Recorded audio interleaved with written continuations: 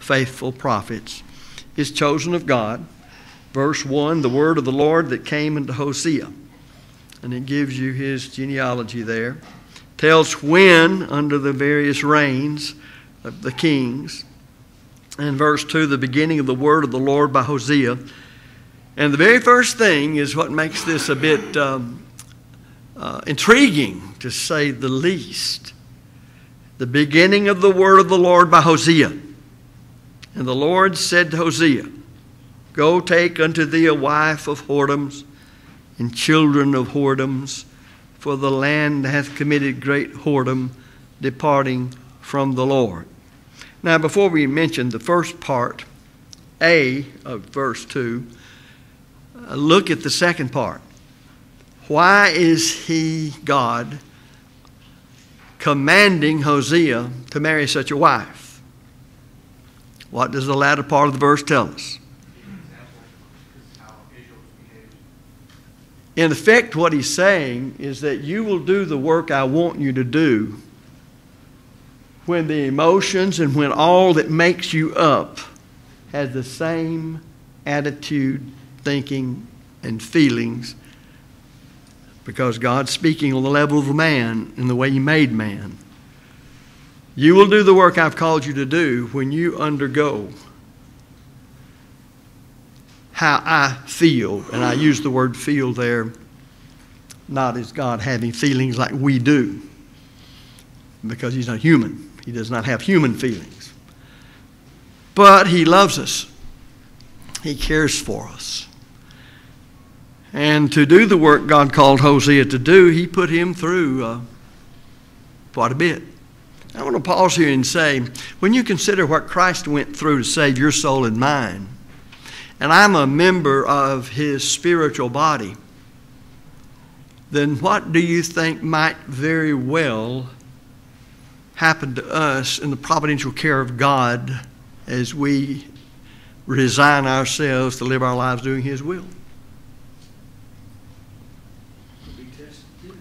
We, we can be put into all sorts of situations, all sorts. Now, why was it right for Hosea to go take the wife of whoredoms and children of whoredoms? Why was it right? And it was right.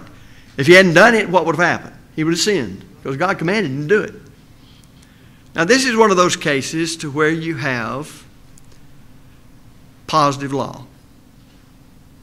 Some would say even further than that, trying to categorize the various commandments of God, even pure positive law. And that means it's right only because God said so. Because none of us are going to tell, and the New Testament teaches contrary to this, as well as the Old Testament, in the normal conduct of human beings, we do not teach our young people to go out and marry out of this kind of people. Now, there's a big, uh, among commentators, uh, discussion all the time on whether she was actually a practicing prostitute or whether she was just from that kind of background and therefore she fell right back into the way she had been raised. It really doesn't make any difference whether she was actually practicing or where she just went back that direction because that's what she came out of. That was her environment. That was what she was used to. It was not a bad thing. Well, the prophet still has to speak God's word. He has to speak God's word as it's given to him by God to the people fitting the situations of the times. Now, what was the state of God's people at this time as far as their relationship to God is concerned? Not talking about just some individuals, we're talking about the whole of the people in general. They were estranged, and the Bible doesn't mention any words about it. When you, as they were, Jews approaching God through the Old Testament, and they're living in violation of that Old Testament, that's spiritual adultery. That's how God looks at it. You're espoused to me, he says. You belong to me. I am a jealous God. When you think it's strange that a husband was to think his wife really loved him like a wife ought to, and then come to find out that she hasn't. She's out messing around with one man or many, yet he loves her. Do you think he might be jealous? in a right way. So you see, there is a jealousy that is right. God says, I'm a jealous God. We should be, as members of the spiritual body of Christ, as Christians, and that means of Christ, we should be uh, jealous over things that are good, as the Bible defines good.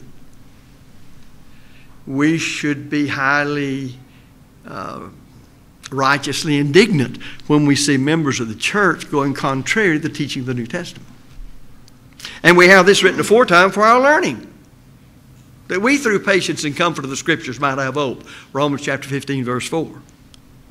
So God says, You go find you a wife from this kind of background. It also tells us that when people live immoral lives and it becomes constant and regular to them and it's not strange, it becomes acceptable. It becomes a way of life. So you go find not, you know, when Abraham and Isaac, when they wanted to find wives for their children, they said, just marry anybody around you. Uh, you know, we're sojourners and pilgrims in the land of Canaan. Abraham never owned any land down there. So when he wanted to find, and what kind of people were around him? What kind of people were around where Abraham was a pilgrim in the land of Canaan? The natives of the land. What kind of people were they? They were pagans. What does that mean? They were idolaters. They were idolaters. And all that went along with idolatry, which usually meant all kinds of uh, promiscuous activities. It was just that way. It was what they did. They were raised that way. This is the right way to be. You don't worship this God, you're not faithful to Him unless you do this. And you might think, well, sexual perversion is terrible when it's done in the name of worshiping a God or serving a God. Well, it is. But to me, how much more degraded and horrible can it be that when you worship Molech and you take your firstborn baby and the thing's heated up red hot and you lay it on his arms as an offering to him? What does that tell you about how far down the drain people can go? Of course, that could never happen to us, could it? Never happened to us.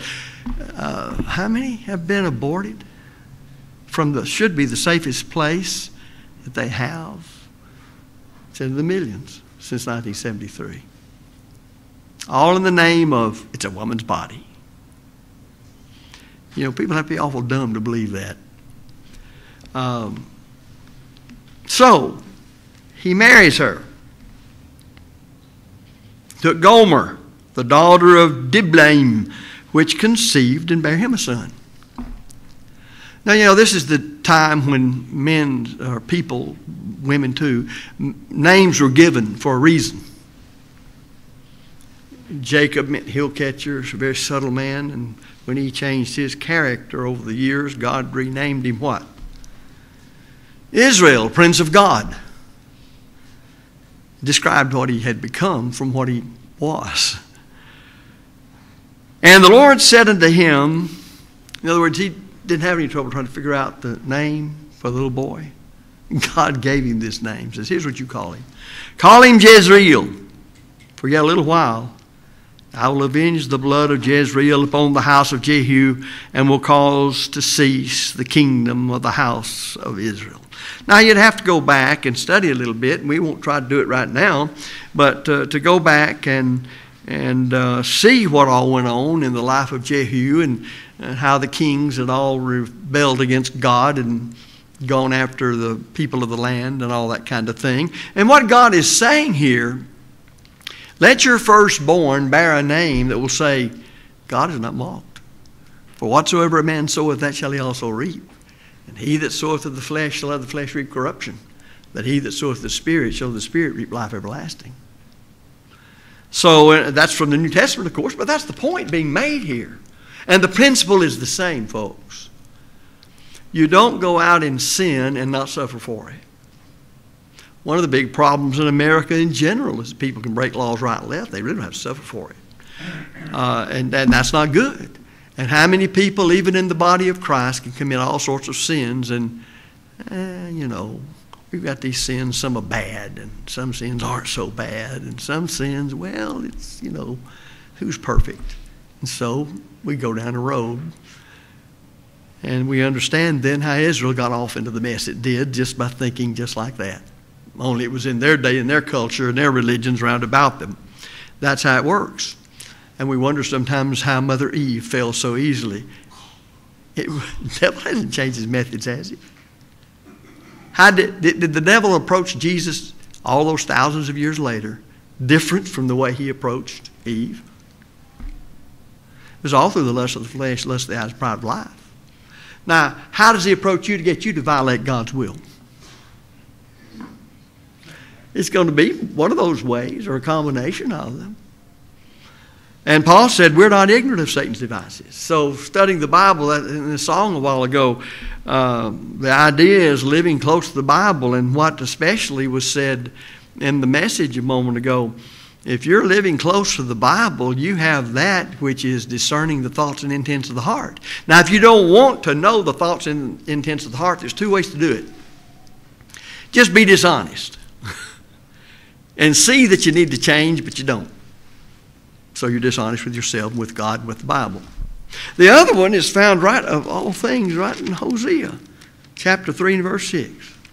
My people are destroyed for lack of knowledge.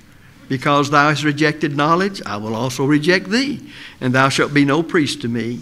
Seeing thou hast forgotten the law of, the, of, the, of thy God, I will also forget thy children.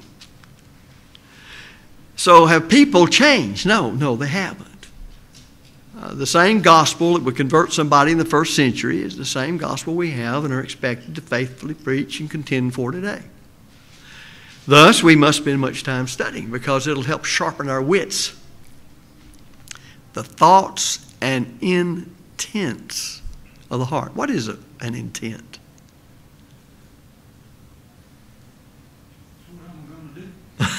and who decides what you are going to do?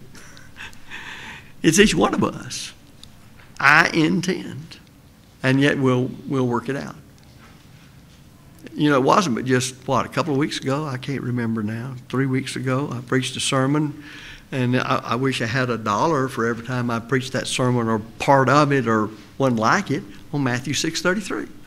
But seek ye first the kingdom of God and his righteousness, and all these things you add unto you. Tell me what's what is difficult about that verse as far as understanding what the message is? What's difficult?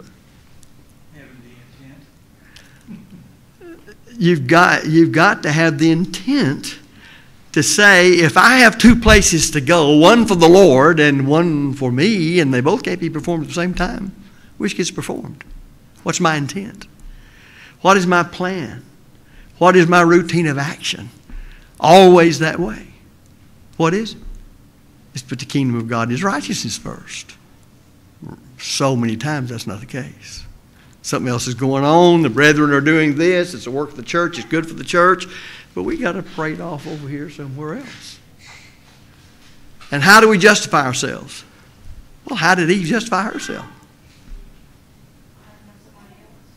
Well, before she ever got to that, in order for her to partake of the fruit she was commanded not to, she had actually quoted the scripture back to the devil that God had said, don't do it. What, what did, well, it was make one wise, good for food. And what's she doing when she's going through that? She's rationalizing. Surely God, and how does the devil approach her? God's trying to hold something back from you. He hasn't told you the whole story and it won't hurt. Now, right there is the way it all works. And it compounds itself. You start down that on what seemingly is a simple, innocent matter. None of it's innocent. It involves sin. None of it's innocent. But then we build on it. Sin begets sin. So you read Romans 1, and the majority of the Gentiles, non Jews, what did they do? They desired not to retain God in their knowledge. See, everybody knew God at one time, just like Adam and Eve. Everybody knew God. Well, somebody at some point had to be the one to say, I don't.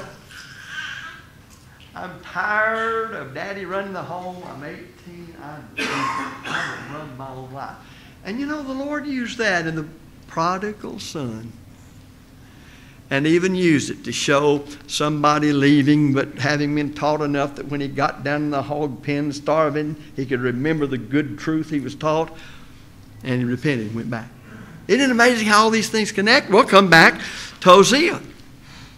Don't you know, having been taught the truth of the law of Moses, that he must have found it something that went against the grain to go courting among this kind of people?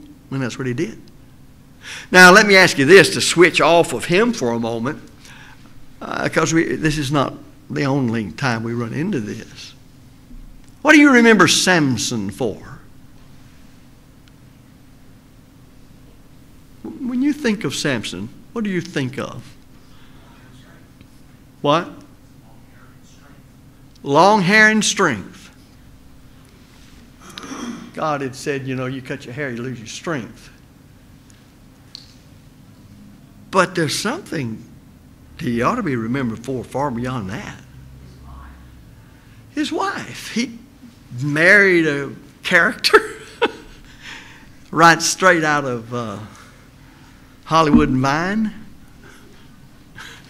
right straight out of the wherever you can think of down the drain. He, he married her there. And she dealt misery to, well, first of all, it says he, he just worried his mother and daddy to death the whole time. You know, if children knew what they can do to their righteous and godly parents just by their rebelliousness and stupidity, they would, um, that might make a difference. With some, I don't know that it would. Uh, seems like most of the, or at least a lot, are prodigals nowadays. it's the thing to be. Uh, do you remember when it's, Job is described? And when he is described in his righteousness and his godliness and his wisdom, and he, he sacrificed and prayed for his children. You remember that? It's always been the case with, with parents who love their children like God expects people to love them, that they're concerned about them. But there comes a time when your children do as they please or attempt to. Oh, and by the way, just like you did. and it was really intended because some will leave father and mother and cleave to his wife. But it's according to why you leave, when you leave, and who you leave to be with. And, and, and uh, because remember, it's still true evil companionship corrupts good morals.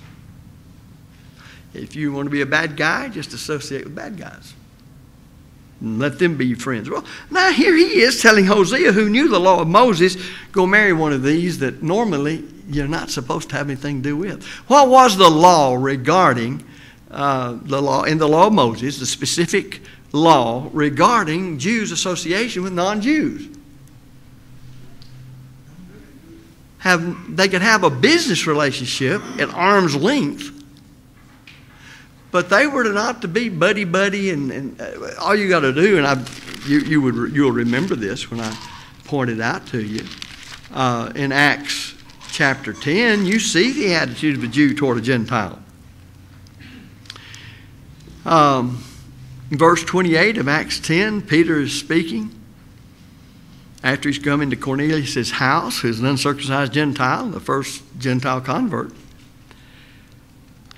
And he says, Ye know, verse 28 ye, uh, of chapter 10, ye know how that it is unlawful thing for a man that is a Jew to keep company or come unto one of another nation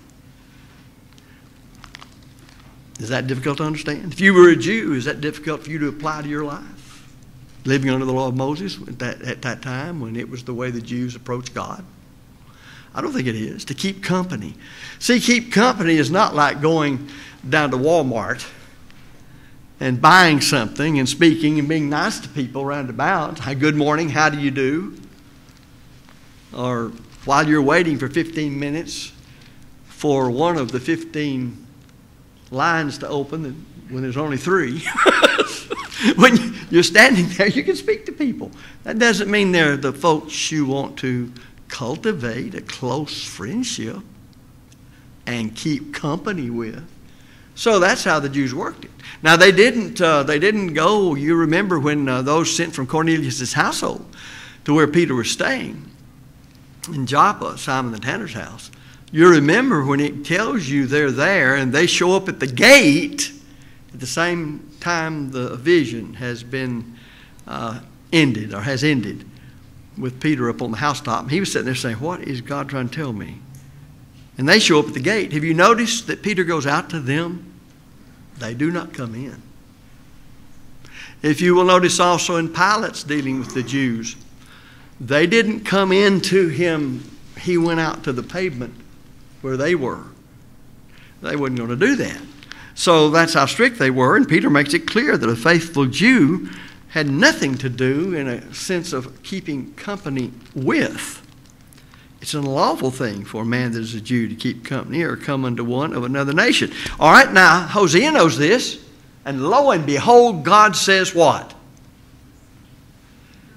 Go get a date and find you a wife from this kind of bunch. What does that say about him? What does that say God knew about him? Does it say he's much like Abraham when God said, Take thy son, thine only son, thy son whom thou lovest, and offer him a sacrifice? In other words, a positive law means it's right only, only, only, only, and always because God said so. And that's why that it was right for him to do this when the law ordinarily taught otherwise. But God stepped in. He who legislated the law can make the exceptions. And Hebrews 1 in verse 1 tells us how things went in those days. Though they had the law they studied and lived by, if they were faithful, you still had the prophets because God's still looking into the future. Messiah hasn't come. He's not through with, with the Jews as far as them being a fleshly Jew. Christ must come of fleshly Jews from the tribe of Judah. So there's still prophets who are foretelling as well as speaking the law of Moses to the people regarding what's what in their day and time. So here comes God telling him to do this, just like he told Abraham to do this. And thus, there's no visible connection between the commandment given and my obedience to it or his obedience to that in a positive law and in the blessing provided. And thus, people, as I've said many times, stumble in becoming a Christian because they can understand how can you follow Christ if you don't believe in Him and accept His existence? They can understand that. How can you be going one direction against the way Christ tells you to live without turning around, changing your mind, and then starting to live like He says? They can understand repentance. And they can understand that if I've done that, I must be willing to confess that I believe in Him. But as I've asked many, many times, where is the problem? Where have all the debates taken place for the most part? At what point in the plan of salvation do they stumble? Baptism. Because there's no visible connection between somebody being immersed in water and God saying, Your sins are forgiven. You're keeping the commandments, every one of them. Faith comes by hearing, and hearing by the word of God, and from no other source. Romans 10 17. God commands all men everywhere to repent. Acts 17 and 30. You've got to confess your faith in Christ before men. Romans 10 10. All that's by faith because the Word teaches it. You know that's God's will in the process of obeying plan salvation. But people can see there's a logical connection. But there's no logical connection between dipped in water and God saying, Your sins are forgiven. I'm not remembering against you anymore. How is that so? And you hear people argue that. Well, I think God could forgive me this way. Or I think God forgave me here. God can forgive you any way He wants to. But he wants, his want to is set out in the last will and testament of his son, and it hasn't changed since it was fully revealed in the first century. Christ did forgive people in different ways for different things. So don't go to the thief on the cross. When Christ was alive, his last will and testament wasn't in effect. So, oh, I think I can I think God can save me like Jesus saved the thief on the cross. Well, I think he could, but he's not. Well, why are you so bold? Because I have the last will and testament, the infallible word of Jesus Christ, saying that I must be immersed in water by the authority of Christ in the name of the Father, Son, and Holy Spirit to obtain the remission of sins. That's why. Now, why is that right? Why is it right to be baptized? There's one reason. God said so. Now, if you're going to change jobs, you have to believe in that job more than this job here, so you can logically see that. And you can repent by turning from that job, accepting this job. And you can tell people that's your confession that I don't work over there anymore, I work over here. But it would be a strange thing if that man that you're going over here to work for as you left this job over here says, Work for me a week and I'll give you a million dollars. Well, why? Why? If I've been standing there, I wonder that too. Especially you. why not me? well, this was for Hosea alone. Nobody was ever told this but Hosea, and so far as I can find in the Bible. But that was for his given case his given situation, where he was, to be the prophet to the people. And it involved his own understanding so that he could see how God felt when all of Israel, prophet after prophet after prophet, was sent to them. And what did they do? Well, that was clear even to the Jews as to what they always did. They didn't like to hear about it. They liked to think in Jesus' day and immediately thereafter that uh, they had been the greatest folks under the sun. You remember what Jeff said, he was teaching a couple of weeks ago, he said, he said uh, in the conversation with Jesus, said, We've never been bonded to any man. And Jeff said, You know, I've never, never figured that one out. What were, what were they doing down there in Egypt? so people can fool themselves if they want to, but listen to what Stephen said to them in a sermon that uh, wasn't too well received. Verse 51 of Acts chapter 7 Ye stiff necked and uncircumcised in heart and ears, ye do always resist the Holy Ghost, as your fathers did, so do ye. Which of the prophets have not your fathers persecuted? And they have slain them which showed before the coming of the just one, of whom ye have now, of you have been now the murder, betrayers and murderers. Now, we've had some very wise and educated people in my lifetime since I was a young preacher who said, you know, he, he could have probably got along with those folks a lot better if he had left those two verses out and not been so negative. Forgetting that he was inspired of the Holy Spirit to say, just like Hosea, what God put in his mouth to say. And he said it out of love because that's what they needed, whether they knew they needed it or not. So the name comes at God's own direction uh, for, for his son. God's not mocked. You sin, you'll suffer. God bear with folks, but you keep on proving to him you're winking at time. Got plenty of time to do this changing. I can do this some other day. You can't. Now, verse 5, and it shall come to pass at that, this is chapter 1 of Hosea, and it shall come to pass at that day that I will break the bow of Israel in the valley of Jezreel. And Gomer conceived again, bare daughter. Well, they don't even get to name their little daughter. God says, You call her name Loru Hema, for I will no more have mercy upon the house of Israel, but I will utterly take them away.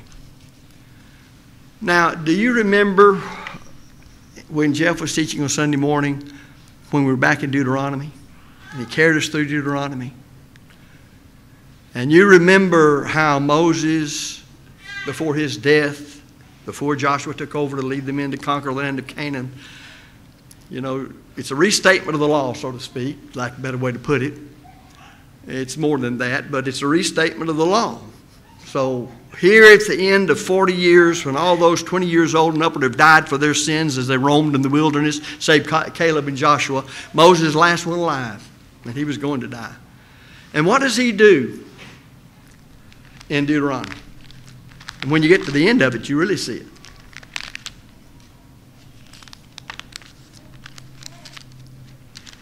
Anybody remember? Well, he says, I'm going to sum it all up very quickly. Do what God said do in the way God said do it. Don't deviate from it. Don't turn to the right hand or the left. Never compromise. That's the way that's right and can't be wrong. You leave that and you're dead. And what do people say? We're going to stay with it. And Moses turns around and says, That's what you say, but you will not. you say that right now, but you'll leave. And he predicts that they will be driven off the land for the same reason. For the same reason that they were going to drive off the people that were already on the land. I would say, as a preacher of the gospel after all these years, and even when it hadn't been after all these years, because I used to preach it when I was a young man.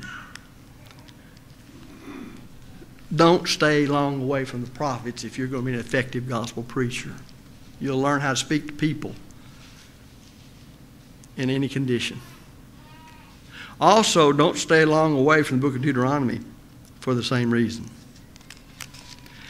You can see exactly what to expect. You know, it, it's not, it's saddened. It, it's a very saddening, saddening thing, and sometimes it, it bounces back at you.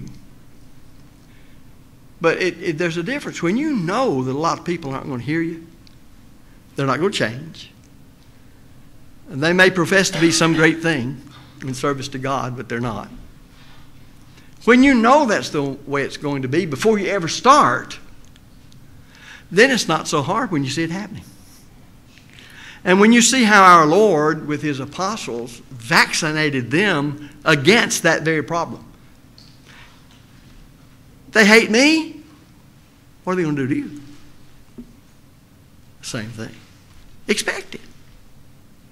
Did, did you notice that when, when Saul is um, converted, became the Apostle Paul, Ananias is scared, the preacher that Jesus appeared to and said, Go baptize him, go teach him. He's scared, Lord. We've heard many things what this man's done. in other words, I'm just seeing the fruit he's born out, and that's the way I'm supposed to. Well, the Lord never argues with anybody when he's giving you a commandment. He says, You go. For I've appeared to him and shown him how many things he must suffer for my name's sake. We, we see so many people today trying to appeal to people oh, this is good, this is good, this is good, this is good. And it is good when you get it in its proper perspective. You're reconciled to God. Your sins are forgiven. You're in the realm of the church where God's located all spiritual blessings in heavenly places. Ephesians 1 3. You're a child of God. But then Paul comes along and says to the young preacher Timothy, all who live godly in Christ Jesus, where he's located all spiritual blessings in heavenly places, all who live godly in Christ Jesus, what? Shall suffer persecution. Now, what do you think this man's wondering about now that he's been raised and such a prophet that God would depend on him to and call him to do this thing, even where going to marry somebody like this, have two children, and yet it's making it clear to him, even in the two children that, is born, that are born, I am, God speaking, not going to put up with this any longer. The end's coming. And I guess, well, was that the second or first bell? First one. Okay. Let me go down here in, again, a little later. Keep those thoughts in mind. And you will see that he says in verse 7 But I will have mercy upon the house of Judah, and will save them by the Lord their God, and will not save them by bow, nor by sword, nor by battle, by horses, nor by horsemen. Uh, we would do well to remember that. The United States has forgotten it, but the church of the living God, the army of the Lord, should not forget that. God saves us for one reason and one reason only, and in only one way by our faithful adherence to His will. Now, when she had weaned Lo-ruhamah, she conceived to bear a son. Then said God, Call his name Lo-ammi, for ye are not my people, and I will not be your God. What kind then of a prophet is this man going to be? God's fed up with you.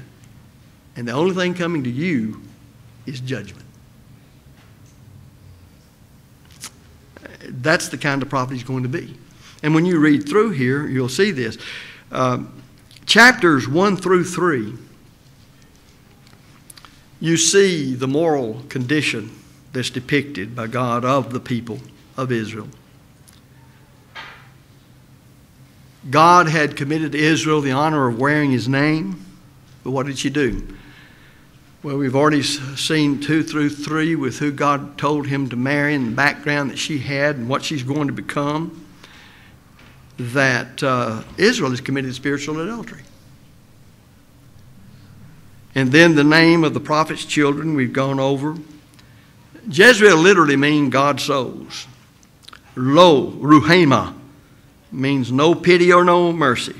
God's not going to continue to have mercy. Lo, Ami, not my people. God souls, no pity or no mercy, not my people. Yet God is pictured as a man who's grieving over his wife. If you look at um, part two, which I would say starts, I believe that uh, Brother Post cites that on page 41, as he, at least the way he broke it down, chapters 4 through 14. Although there's uh, not 14 chapters in there, so I don't know what he meant by that. Um, well, I mean, not. Four, I'm trying to say 4:14 in the sense of chapter 4, verse 14. There, there are only four, 14 chapters in the book. Um, these are all of the oracles, all of the pronouncements against Israel. And he enumerates the specific sins they've committed. What does God say for each one of us is going to happen at the judgment? Teaches it in Romans. For we must all appear before the judgment seat of Christ, that we might give an account of the deeds done in the body, what? Whether they're good or bad. Well, isn't it interesting that he lays out and says, here's the problem. Here's how you've lived. Here's what you did. Here's how it's contrary to the law I gave you. I've kept my promises. Sometimes the prophets will say, since you've sinned, it must be that I went back on what I promised you to do, which is a sarcastic statement because he never went back. He performed everything he said he would do. Uh, when that was said, then what, what are they going to say? What would anybody say? Well, we have then this kind of, of statement, and it's rooted, as I read a while ago, in chapter 4, verse 6 My people are destroyed for lack of knowledge. They had forgotten the law of God. I think I mentioned this before, but at the time that I'll close with this. At the time that this medical doctor, who was a surgeon, was speaking this to me, he's a member of the church. He was um, in his late 60s. He was getting ready to retire. He was a thoracic surgeon. And he said, if I do not do surgery every day, say I miss two days, so I can tell it when I go in, in to do surgery.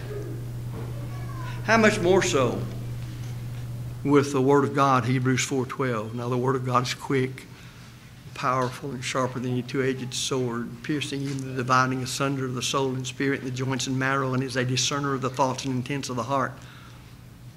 When you don't spend time rightly dividing the word of truth as you study it as your own necessary food, then there will be things that will not appear to be so important.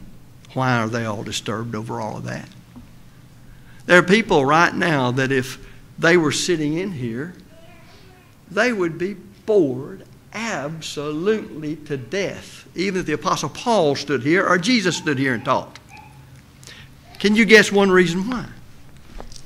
They have no interest whatsoever and no background, and all they're doing is saying, I'll be glad to get through so I can go get a beer with some of my brethren, probably. And that's where we are. We have to cultivate a righteous mindset, and that comes through understanding the Word of God, its authority, why it's given, and the good it does for us as we study it and apply it. We'll continue with Hosea and hopefully finish it up next week. Thank you very much.